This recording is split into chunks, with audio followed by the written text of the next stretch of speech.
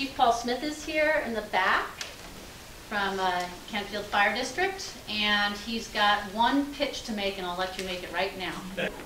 Um, We do emergency alerting through the Office of Emergency Services here in Kentfield. It's the County of Office of Emergency Service. It's run through our Sheriff's Department.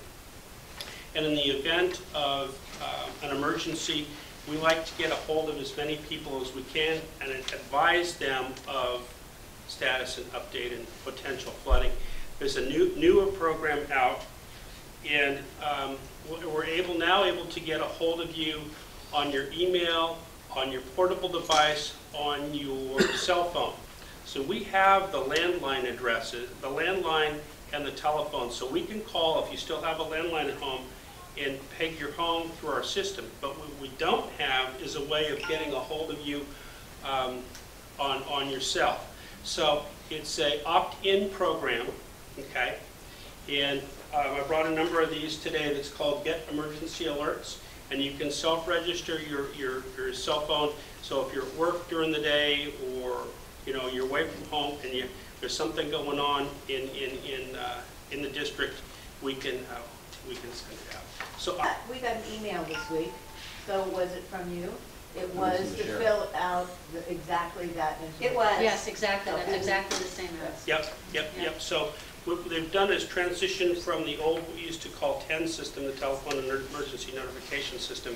And they're a much more robust system that the sheriff's office uh, provides us now.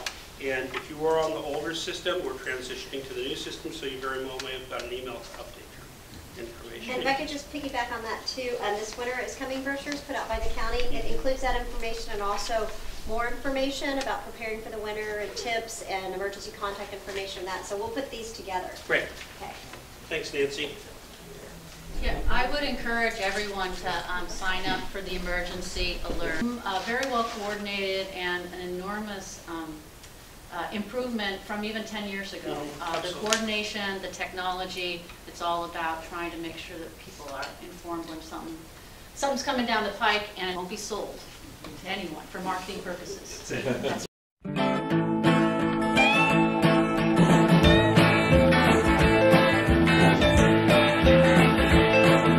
John is in the basement mixing up the medicine. I'm on the pavement thinking about the government.